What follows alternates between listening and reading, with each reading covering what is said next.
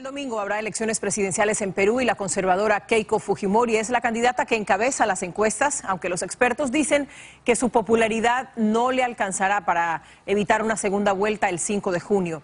Detrás de Fujimori están la candidata de izquierda Verónica Mendoza y el ultraderechista Pedro Pablo Kuczynski.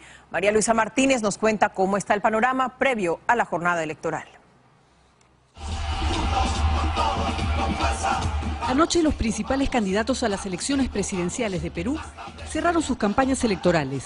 Keiko Fujimori, quien encabeza cómodamente las encuestas, lo hizo simbólicamente a poca distancia de la prisión donde su padre se encuentra cumpliendo una sentencia de 25 años. Lo que hace falta y lo que no hemos tenido en estos cinco años es liderazgo, es decisión política, es tener las ganas de acabar con la delincuencia.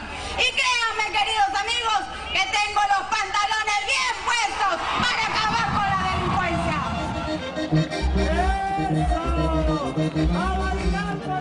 Al otro lado de la ciudad lo hizo Verónica Mendoza, la candidata del Frente Amplio de Izquierda. Ya no vamos a aceptar más migajas. Queremos que nuestros recursos sirvan al pueblo peruano. Y nosotros sí tenemos la dignidad, la valentía y la fuerza del pueblo para recuperar esos recursos. Los peruanos, todo parece indicar, elegirán entre dos mujeres jóvenes, una a la derecha y la otra a la izquierda.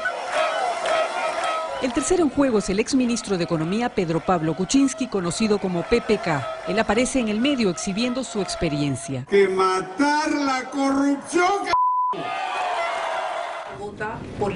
Las leyes electorales ya no permiten la publicación de encuestas en el Perú, pero estas circulan por las redes. Los medios de prensa extranjeros se reunieron con los analistas electorales. Y habrá que ver, la verdad creo que son dos dinámicas que se enfrentan.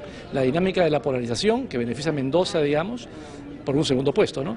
Y la dinámica de buscar el centro seguro, que es la de PPK. Lo único definitivo que las encuestadoras han dicho hoy a los corresponsales extranjeros es que Keiko Fujimori pasará a la segunda vuelta. Para lo demás, habrá que esperar a este domingo. En Lima, Perú, María Luisa Martínez, Univisión.